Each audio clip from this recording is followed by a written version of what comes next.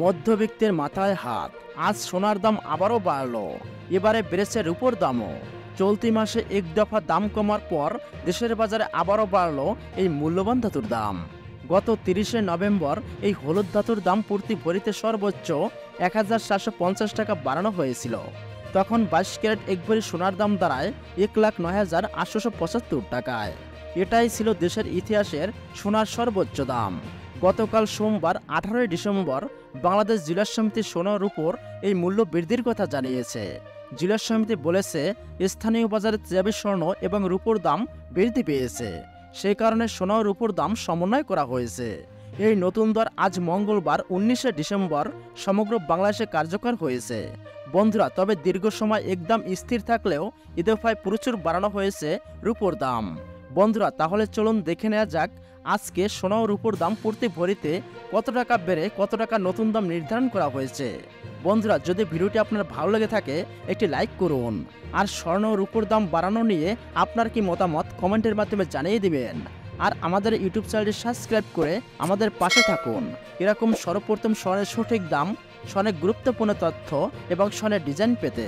বন্ধুরা, এখন দেখে নেওয়া যাক এক নজরে। জুয়েলার সমিতির বিজ্ঞপ্তি অনুযায়ী সবচেয়ে ভালো মানের, অর্থাৎ বাইশ কেট প্রতি ভরি রূপা তিনশো পঁচাশি টাকা বেড়ে দুই হাজার একশো টাকা নির্ধারণ করা হয়েছে, যা এর আগে গতকাল বাইশ কেট এক ভরি রূপা বিক্রি হয়েছে এক হাজার সাতশো পনেরো টাকায়। একুশ ক্যারেট প্রতি রূপা তিনশো তিয়াত্তর টাকা বেড়ে দুই ছয় টাকা নির্ধারণ করা হয়েছে।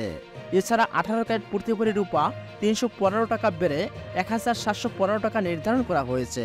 এবং ট্রেডিশনাল মেথড অর্থাৎ সনাতন পদ্ধতির প্রতি ভরি রূপা দুইশো তেত্রিশ টাকা বেড়ে বারোশো তেরাশি টাকা নির্ধারণ করা হয়েছে।